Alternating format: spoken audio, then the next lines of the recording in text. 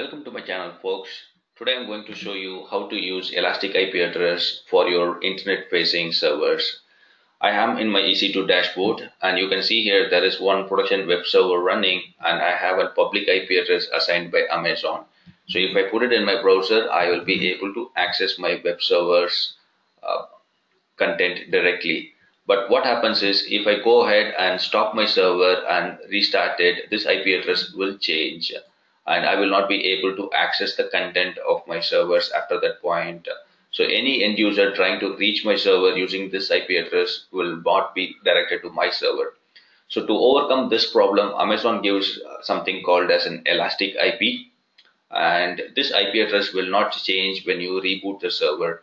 So whenever you are rebooting the server, your IP address can be reattached to the same server and then your end users will be directed to the same server as well. So this way you don't have to worry about IP address getting changed when you're rebooting the server or getting reassigned. And you can, for some instance, if the underlying hardware fails, you can start the server in some other hypervisor and reattach the same elastic IP address to the new server as well. So this way your entry point for your website is always the same and end users will be uh, not be impacted from any changes that is happening on your host infrastructure. So I'm just waiting for my instance to uh, go into a stopped state where we will see the IP address change from the one that is shown here.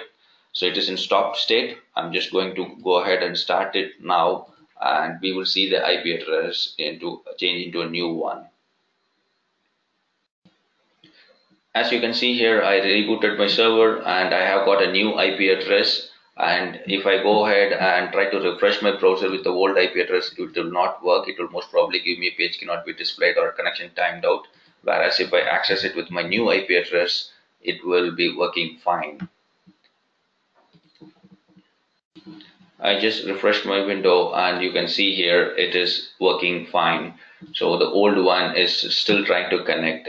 So to avoid these kind of scenarios what we can do is we can go ahead and create an elastic IP just go to elastic IP on the left hand side click on allocate new address and once we complete the allocation we will be able to attach it to any server we want. So we have an elastic IP here 13.126.18.9 I'm going to associate it with my server. So if you have the name of the instance you can easily type it or if you have an instance running Amazon will automatically pick it and show it for you so that's all you have to do. Click on the instance name and click on associate. And that's it. If you go back to your instances you will find your elastic IP address in name of the public IP address. You can see here 13.126.18 so I'm just going to put it in another browser window. And there you go. You see here I am able to access a server. So if for some reason you are going to reboot it I'm just going to show it to you. Click on uh, stop. And it's going to take a minute for a shutdown. Let me wait for it. So my server has stopped now but you can see here my elastic IP is still assigned to the server and then it is not going to change even if it comes back online. So that is what I'm talking about. When you are changing your instance uh, or rebooting your instance you don't have to worry about IP address changes any longer because Elastic IP is there to cover you and your end users will not know that there is a, the underlying hardware instance has changed or something has gone wrong in your end.